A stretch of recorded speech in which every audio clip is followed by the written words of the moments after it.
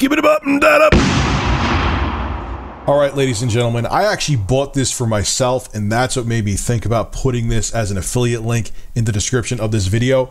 Right now on Amazon, there is a hard drive from Seagate that is eight terabytes that has a USB hub built into the front of it so you could plug in other thumb drives, you could charge your phone from it, going right now for 180 US dollars. It usually goes for 250 bucks. When I saw the price of that, I got it right away. It's Seagate, it's a name brand, and eight terabytes. Do you know what you could do with eight terabytes of storage, especially with how much HD video I have and crap like that? So I picked it up. I think it's a no brainer if you need external storage for you to get it to. Again, there'll be a link below in the description if you want to check out the Seagate Backup Plus 8 terabyte hard drive. So there are some interesting rumors going around about the Nintendo Switch and its future. And these rumors aren't coming from little birds on Reddit or Neo NeoGAF, they're actually coming from analyst groups like Citigroup. And what Citigroup believes that in the fiscal year starting in March of 2019, Nintendo is going to release a mini Switch. So Citigroup thinks there are a couple shortcomings to the Nintendo Switch, even though it's selling really well right now, especially in the States.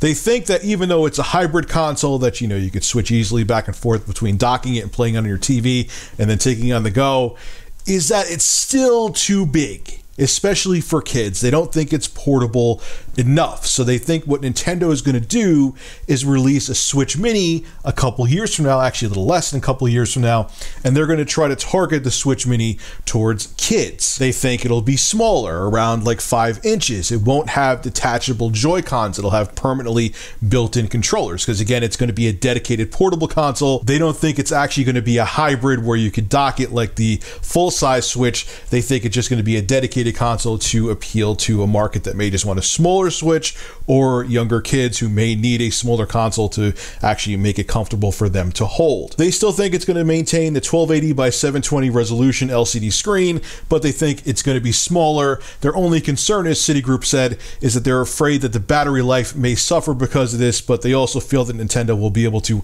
optimize the Tegra system on a chip that the Switch has and make it more battery efficient and make it less power hungry. Now, you're probably thinking, I have a real strong strong stance in either direction on this, where I think, oh, that would be a great idea to have a Switch Mini, or oh, that would be a terrible idea to have a Switch Mini.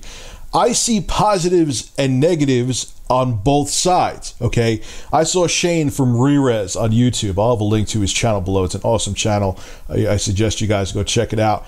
And he thinks it's a bad idea, and I agree with his reasoning because if you make a Switch Mini, which you can't switch into a home console, which is the whole reason that Nintendo's newest console is called the Switch, because you could switch to a home console to a portable just by taking it out of the dock then it's not a Switch. And it kind of defeats the purpose of the Nintendo Switch. So it's like, ah, uh, I don't know if that's a good idea. So I could see where Shane from Rerez is coming from that, with that, where it's possibly a bad idea. But on the flip side of that, hear me out, okay?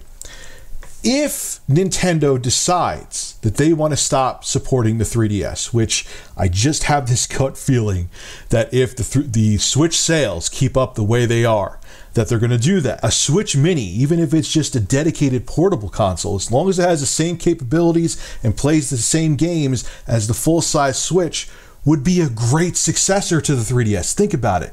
Smaller console, it's portable, so you can use it like you use the 3DS. Okay, it'll be something that's more pocketable. It plays the same games as full size Nintendo Switch. It's not cut down hardware, and it would be a great successor to the 3DS. It would be obviously more powerful because obviously the Switch is way more powerful than the 3DS. And Nintendo would only have to worry about making games for the Switch hardware because the Switch games, because the Switch Mini would still have the same capabilities, same Tegra Maxwell system on a chip, the games would work on the full size Switch and the Switch Mini. So not only would the Switch Mini be a great upgrade and a great successor to the 3DS, it would be a very smart and cost efficient successor to the 3DS for Nintendo because all the Switch games will work on the Switch Mini. And for that younger demographic that Citigroup feels that may not be comfortable with the Switch in its current form, the Switch Mini would be more appealing to them because it would be smaller and more comfortable to hold. So I don't know, man. I, I see it from both perspectives. I see the glass half empty perspective where coming out with a Switch Mini that you can't switch into a home console may confuse the general consumer and hurt the whole concept of the Switch